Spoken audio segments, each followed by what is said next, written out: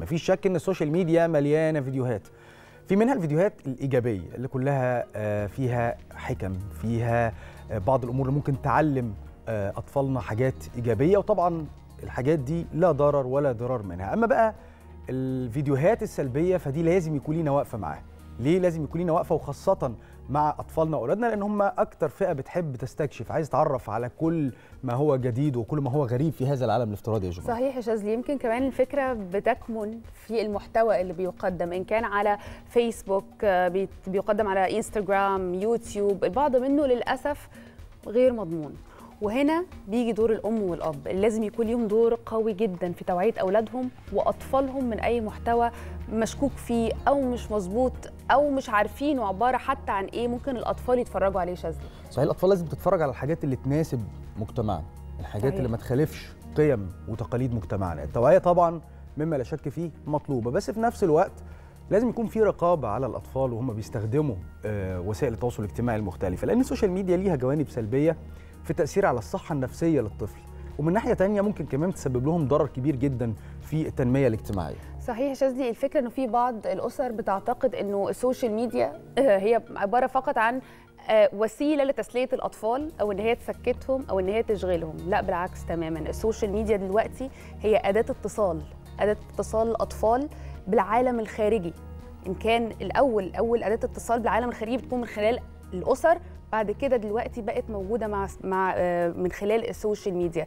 الأطفال دلوقتي بقوا آه، بيندمجوا إن كان مع مجتمعهم أو مجتمعات أخرى عن طريق ال social media. فبالتالي زي ما كنا بنتكلم مع حضراتكم إنه لازم يكون في دور واضح وقوي من الأسر إنها تقدر تتابع أطفالها. لازم أنا أشوف إيه اللي ابني هيتفرج عليه؟ ما ثقش مثلا إن في فيديو مكتوب عليه مثلا plus 7 plus 8 plus 9 مكتوب جنبه السن اللي مناسب اللي ممكن يتفرج عليه. لا أنا لازم أشوف. أنا معرفش مصدر هذا المحتوى إيه إيه اللي عايز يوصله. كمان غلطان جدا يا شاذلي اللي ممكن يعتقد إنه ساعات بيكون في محتوى على السوشيال ميديا ما بيكونش ليه يعني بيكون وراه منهج ما بيكونش موجود شيء كده عشوائي. مظبوط. بالعكس. عشان كده إحنا لازم وإحنا آه، نحط مجموعة من القواعد كده آه، لأولادنا عشان آه، يمشوا عليها هم بيتابعوا أو بيستخدموا وسائل التواصل الاجتماعي المختلفة. أنت مطلوب منك كأب مطلوب منك كأم انكم تخصصوا لهم وقت يستخدموا فيه ال social media. لازم يكون في وقت محدد لاستخدام الموبايل. طبعا بتكلم هنا عن فئة عمرية معينة أكيد مش بتكلم عن الأطفال الصغيرين سن أربع سنين وخمس سنين على الرغم من إن بعض الآباء والأمهات بيسيبوا الموبايلات للأطفال في سن سنة كمان وسن سنتين إن هم يتفرجوا على آه، فيديوهات وتبقى دي وسيلة إن هم يلهوهم بيها. شايفين الطفل بيعيط ادوا له الموبايل. هو خلاص اتعود من هو صغير على إنه ماسك الموبايل. بيتفرج على إيه مش مهم. وأنت بتبقى عارف إن هو في السن ده مش قادر يقول أو مش قادر يختار حاجة غلط يتفرج عليها لأنه لسه مش قادر يميز. لكن مع الوقت هو ممكن يكون بيتفرج على حاجات غلط فيتعود عليها فينشأ على الحاجات الغلط دي وهيبقى السبب في ده مين؟ الأب أو الأم. لازم نحدد وقت معين للأطفال إن هم يستخدموا ال- الموبايلات بشكل عام سواء لل games أو لل social media. وقت محدد يمسك فيه الموبايل يا جمانة ليه ساعة في اليوم مثلا. ما ينفعش يعدي الساعة. صحيح ودايما إحنا حتى بنتكلم كنا بنتكلم أنا وأنت قبل الهوا إنه الأطفال خيالها خصب لسه بيتكون. إحنا اللي بنكون الوعي إحنا اللي بنكون خيالهم إحنا اللي بنكون ذكرياتهم.